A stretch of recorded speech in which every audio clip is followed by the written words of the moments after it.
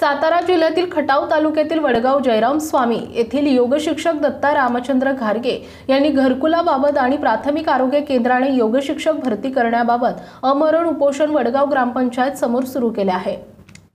सातारा जिल्ह्यातील खटाव तालुक्यातील वडगाव जयराम स्वामी येथील ग्रामपंचायतने गेल्या नऊ महिन्यात वारंवार लेखी आणि तोंडी विनंती करूनही घरकुल बाबत कोणतीही कारवाई न केल्याच्या निषेधार्थ आणि वडगाव जयराम स्वामी येथील प्राथमिक आरोग्य केंद्रामध्ये योगशिक्षक भरती व्हावी या मागणीसाठी वडगाव जयराम स्वामी येथील योगशिक्षक दत्तात्रय रामचंद्र घारगे यांनी ग्रामपंचायती कार्यालयासमोर अमरण उपोषण सुरू केलं आहे. गेल्या अनेक महिन्यांपासून योगशिक्षक दत्ता घारगे हे निवेदनाद्वारे ग्रामपंचायतीला आणि पंचायत समितीला विनंती करत आहेत. मात्र याकडे जाणीवपूर्वक दुर्लक्ष केलं जात आहे असा आरोप दत्ता घारगे यांनी केला आहे. लवकरात लवकर घरकुल मंजूर व्हावे आणि योगशिक्षक भरती व्हावे अशी मागणी देखील यावेळी त्यांनी केली आहे. या उपोषणासाठी वडगाव विकास सोसायटी यांच्याकडून पाठिंबा.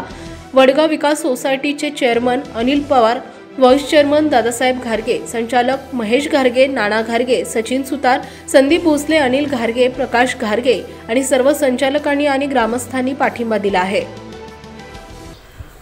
गेले अनेक अनेक वर्ष. म्हणजे ज्यावेळेला डी आर डी विभागाला सागर प्रबळे होते त्यावेळेला त्यांना प्रत्यक्ष श्रीमती रुक्मिणी निवृत्ती घारगे आणि शितू सुतार आणि मी स्वतः यांच्या तिघांचे घरकुलाचे व्हिडिओ पाठवले त्यांना दाखवले प्रत्यक्ष नेऊन. त्यांनी प्रत्यक्ष कारवाई करतो फक्त केवळ आश्वासन दिलं. वेळोवेळी शंकर गा शंकर चौकशी केली ते तर स्वतः प्रत्येक वेळेला सांगतात की ग्रामपंचायतीचं असतं हे सर्व. ग्रामपंचायतीला माहिती पाठवतो. ग्रामपंचायती अधिकाऱ्याला पूर्ण निष्कर्ष दिले. आत्ताचं हे व्हायच्या अगोदर आत्ताचा सर्वे व्हायच्या अगोदर आम्ही त्यांना मागणी केली होती की आत्ता गरजू भोगाला काय करूया आणि ग्रामपंचायती ठरवल्या त्याला दोन वेळा ग्रामसभा दर्शतीत झाली. त्यावेळेला त्यांनी त्याप्रत्ये प्रत्यक्ष माझाही स्वतःचा तो अनुभव आहे. पण मी कसं ते सोडून दिलं म्हटलं दहशत करण्यात मजा नाही. आपण आत्ता विद्यार्थी दशेत आहोत त्यामुळे आम्ही तिथे बघितलं नाही. पण आता गरजू लोकांची क्रमांक म्हटलं तर अडतीस आणि तीस. शिदू मिश्रींचा काय मला क्रमांक माहीत नाही. पण आता ती म्हातारी धक्क्यानं मेली राहू त्याच्यातल्या वासाठी सगळे लोक उपोषणावर बसले मग आता जर लोक जर घर घर करून म्हणत असतील तर शासन प्रशासन आणि लोक काय करतात? प्रधानमंत्री नेमकी घरं कुणाला देतात मग? गरजू लोकांना घरं भेटत नाही काय नाही. अन्याय हा अन्याय होतो सगळ्या सर गरजू लोकांच्यावर आणि केवळ एक अनुक्रमांक हा एक निकष नसतो. त्यासाठी अनेक अनेक निकष असतात. स्वतःचं माझं वैयक्तिकरण नको होतं मी ज्या दिवशी आले प्रमाण ह्या लोकांना द्या म्हटलं लोकांना गरज आहे लोक कधी राहणार त्या घरामध्ये?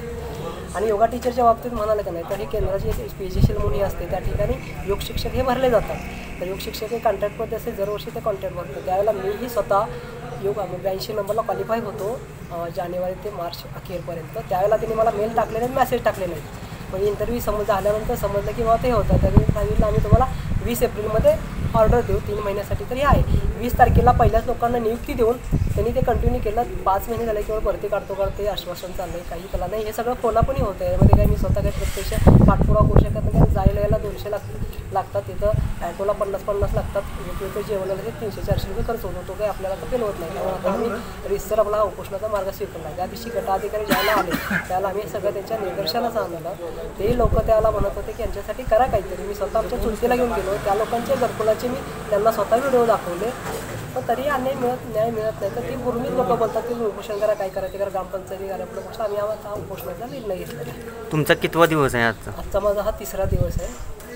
तुम्हाला भेटायला कोण कोण आलेले? त्याला काही पोलीस अधिकारी पहिल्या दिवशी आले. तेवढेच आले. बाकी कोणी नाही. उपोषण बसायच्या अगोदर फक्त विस्तार अधिकारी माने येऊन गेले. मानेंनाही मी सांगितलं की जर आम्हाला तुम्ही रिसर जर लेखी देत असाल तर आम्ही उपोषणाला बसत नाही आहे तर ते म्हणले मी स्वतः लेखी नाही देतो मी अधिकाऱ्यांना कळवू शकतो.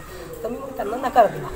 कारण काय म्हणते का? हे कळवू बोलतो हे अनेक अनेक वर्ष आम्ही ऐकलं वडगाव जयराम स्वामी विकास सेवा सोसायटीचा संचालक. तर आज दत्ता गार्गे उपोषणला बसलेले आहेत. आज तिसरा दिवस आहे.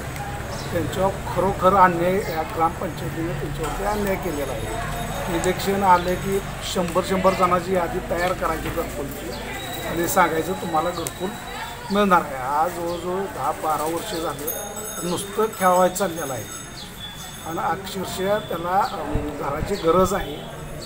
तो आहे. त्याच्याबरोबर अजून एक दोघं तिघं आहे योग्य ते सर्वे करून व्यवस्थित त्याला ते घरकुल मिळावं. ही सगळी आमच्या संचालकांची मागणी आहे. आणि आम्ही सर्व संचालक आज विकास सेवा सोसायटीच्या होते त्यांना आम्ही पाठिंबा देत आहे. त्यांना आता आम्ही पत्र दिलेलं आहे. चेअरमन व्हाईस चेअरमन सगळ्यांचा आमचा पाठिंबा त्याच्याबरोबर आहे. शासनानं लवकरात लवकर दखल घेऊन काय असेल ते आपलं जे योग्य ते त्याला न्याय मिळावा